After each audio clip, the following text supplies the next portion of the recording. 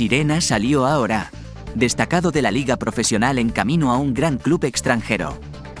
El defensor del decano estaría próximo a abandonar el club tucumano. Hola, soy Donato. Bienvenido a mi canal. Y antes que nada deja tu like y suscríbete al canal para recibir los próximos videos. Entonces vamos a la... El decano estaría próximo a perder a uno de los jugadores que más se destacó la temporada pasada. De cara a aquel cotejo, el decano podría quedarse sin una de las grandes figuras que tuvo la temporada anterior, el defensor Manuel Capaso. El futbolista de 26 años fue uno de los puntos más altos que tuvo Atlético en el 2022, campaña histórica que lo tuvo como animador de la liga profesional que finalmente culminó en la quinta posición.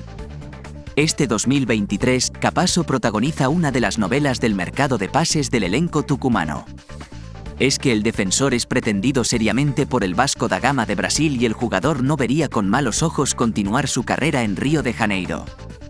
A esto se debe sumar que el futbolista no fue convocado por el entrenador Lucas Pusineri para el partido ante Boca Juniors de este domingo en el arranque de la LPF. La salida del zaguero parece inminente y, según lo publicado por el diario La Gaceta, el mismo Capaso le habría pedido al DT no ser parte de la delegación que viajó a Buenos Aires para forzar su salida al fútbol brasileño. ¿Y tú, qué opinas sobre reforzar los clubes brasileños?